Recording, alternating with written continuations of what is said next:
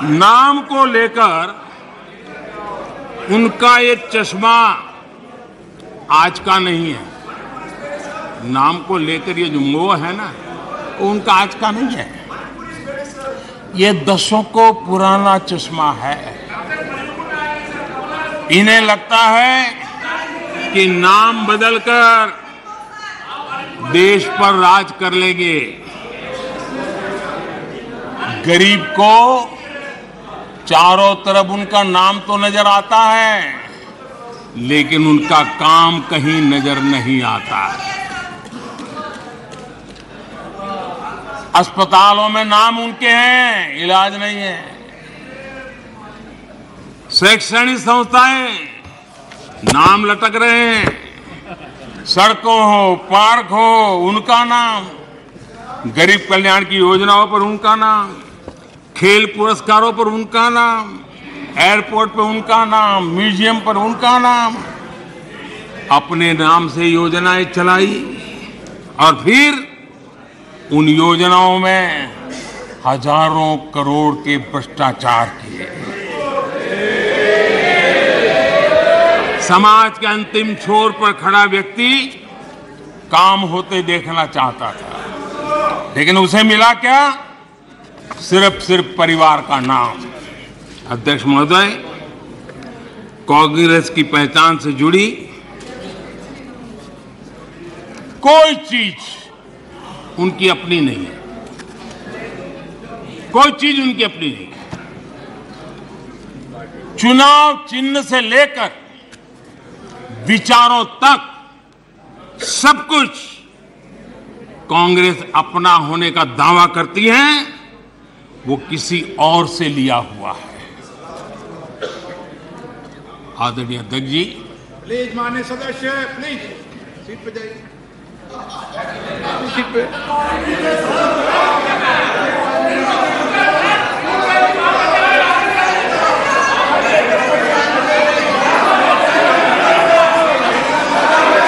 अपनी कमियों को ढकने के लिए चुनाव चिन्ह और विचारों को भी चुरा लिया। फिर भी जो बदलाव हुए हैं, उसमें पार्टी का घमंड ही दिखता है। ये भी दिखता है कि 2014 से वो किस तरह डिनाइल के मोड़ में है। पार्टी के संस्थापक कौन? एओ ह्यूम, एक विदेशी थे जिन्होंने पार्टी बनाई। आप जानते हैं 1920 में भारत के स्वतंत्रता संग्राम को एक नई ऊर्जा मिली। 1920 में एक नया ध्वज मिला और देश ने उस ध्वज को अपना लिया। तो रातों रात कांग्रेस ने उस ध्वज की ताकत देख करके उसे भी छीन लिया। और प्रतीक को देखा कि ये गाड़ी चलाने के लिए ठीक रहेगा। 1920 से खेल चल रहा है। और उनको लगा कि तिरंगा झंडा देखेंगे तो लोग देखेंगे उनकी बात हो रही है। ये उन्होंने खेल किया। वोटरों को बुलाने के लिए गांधी नाम भी। हर बार। वो भी। चुरा लिया। कांग्रेस के चुनाव चिन्ह देखिए।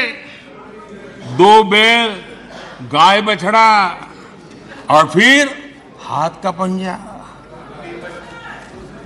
ये सारे उनके कारनामे। उनकी हर प्रकार की मनोवृत्ति का प्रतिबिंब करता है, उसको प्रकट करते हैं और ये साफ़ दिखाता है कि सब कुछ एक परिवार के हाथों में सब केंद्रित हो चुका है। आदरणीय अध्यक्ष जी, ये इंडिया गठबंधन नहीं है। ये इंडिया गठबंधन नहीं है, एक गमंडिया गठबंधन है। ये इंडिया गठबंधन नहीं है कमंडिया गठबंधन है। और इसकी बारात में हर कोई दूल्हा बनना चाहता है। सबको प्रधानमंत्री बनना है।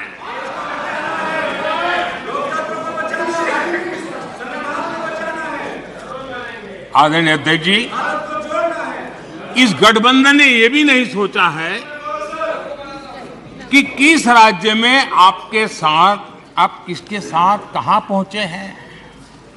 पश्चिम बंगाल में आप टीएमसी और कम्युनिस्ट पार्टी के खिलाफ है और दिल्ली में एक साथ है। और अधीर बाबू 1991 अधीर बाबू 1991 पश्चिम बंगाल विधानसभा का चुनाव।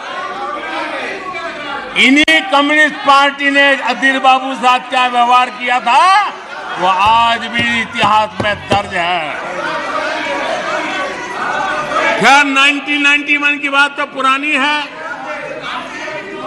पिछले साल केरला के वायनाड में जिन लोगों ने कांग्रेस के कार्यालय में तोड़फोड़ की, ये लोग उनके साथ दोस्ती करके बैठे हैं।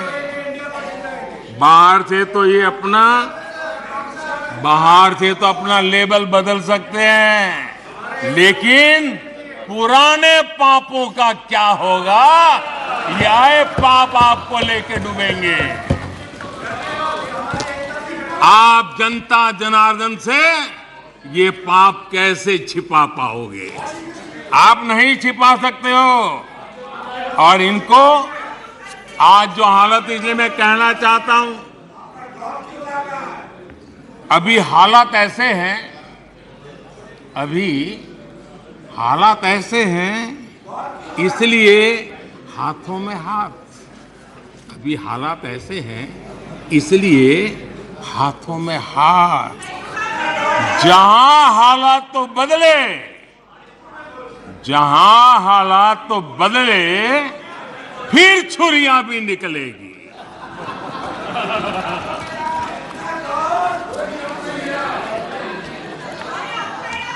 आदरणीय अध्यक्ष जी,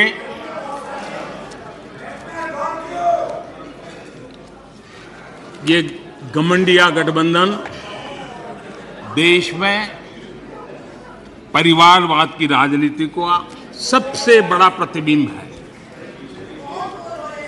देश के स्वाधीनता सेनानियों ने, हमारे संविधान निर्माताओं ने हमेशा परिवारवादी राजनीति का विरोध किया था।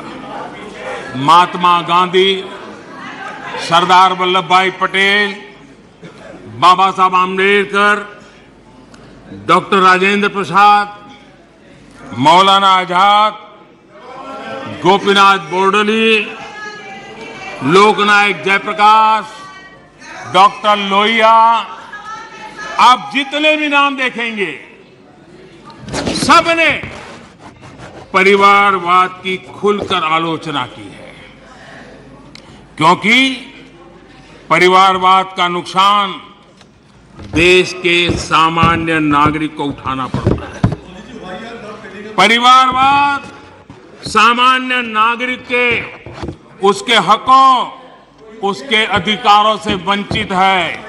इसलिए इन विभूतियों ने हमेशा इस देश पर बात ज़ोर दिया था कि देश को परिवार, नाम और पैसे पर आधारित व्यवस्था से हटना ही होगा।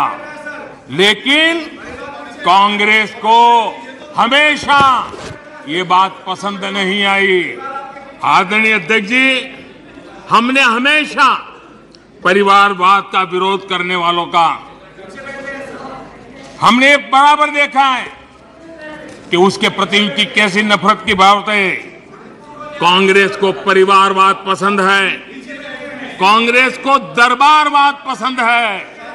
जहाँ बड़े लोग, उनकी बेटे बेटियाँ भी बड़े पदों पर काबिज हो, जो परिवार से बाहर है, उनके लिए भी यही है कि जब तक आप इस इस महफिल में दरबारी नहीं बनोगे तो आपका भी कोई भविष्य नहीं है, यही उनकी कार्यशैली रही इस दरबार सिस्टम ने कई विकेट लिए कितनों का हक मारा है इन लोगों ने।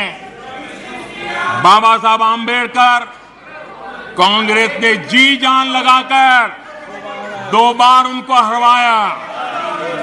कांग्रेस के लोग बाबा साहब आम्बेडकर के कपड़ों का मज़ाक उड़ाते थे।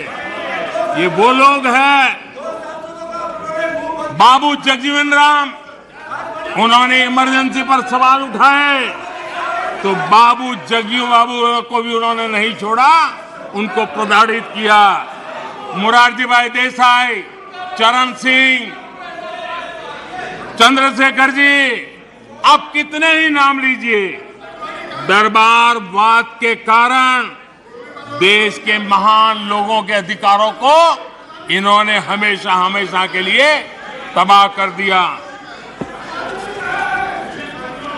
यहाँ तक कि जो दरबारी नहीं थे जो दरबारवाद से जुड़े नहीं थे उनके पोर्ट्रेट तक पार्लियामेंट में लगाने से इनको झिझक होती थी।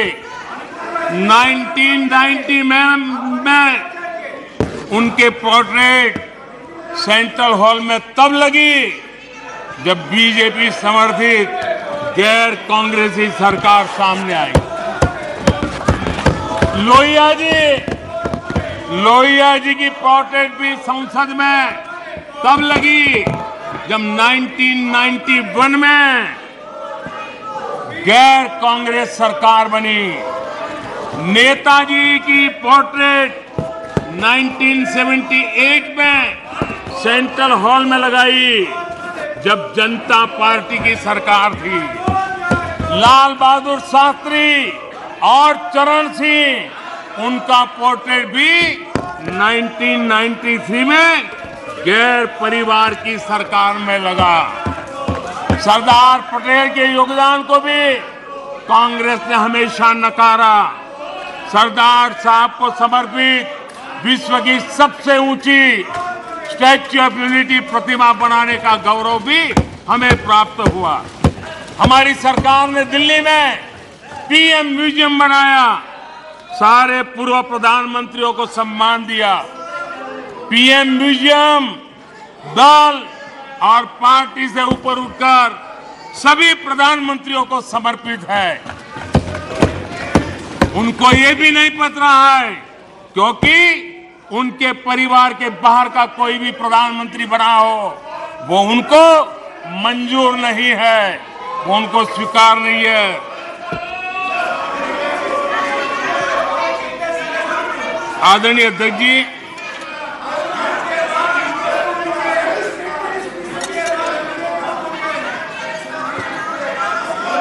आदरणीय अध्यक्ष जी, बहुत बार